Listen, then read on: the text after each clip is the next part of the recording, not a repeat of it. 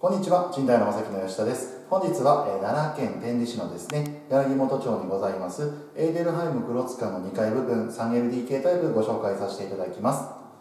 えー、早速ね、キッチンの方から紹介始めさせていただくんですけども、使い勝手の良さそうなキッチンが、えー、見えてまいりましたね。キッチン自体も大きめですし、収納もね、たっぷり上にも下にも取ってあるのが特徴です。またねこういったところに窓がございますので開けていただいたらねすごくこう換気が良くて使い勝手もいいと思います。こちらがリビングになりましてリビングねこのようなスペースとなっております。まあ、ダイニングテーブルを置いていただいてね食卓として使っていただいても便利だと思います。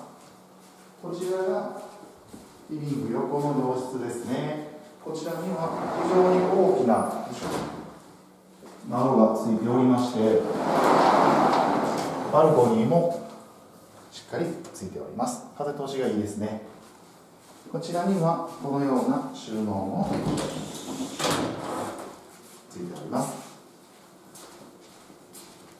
それではね水回りの、えー、ご紹介の前に給湯器のリモコンの位置ですね。ご確認ください。こちらが洗濯機置き場です。お隣にございますのが洗面所ですね。洗面台となっております。奥がトイレとなりましてもちろん洋式タイプとなっております。こちらお風呂ですね。はい。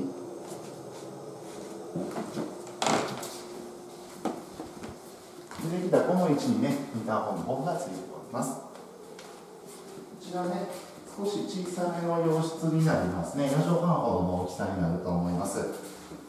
ちらにはちょっとね奥行きの深い収納がついております。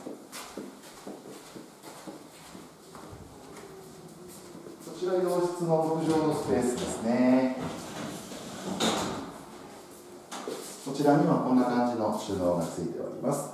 各部屋にね収納があるのでそういったところも使い勝手のいいポイントです以上でね、こちらの物件の紹介の方を終わらせていただくんですけども、紹介の、ね、他にですね、詳細情報等はですね、私どものページでもアップしておりますので、またそちらの方のご確認も合わせてお願いいたします。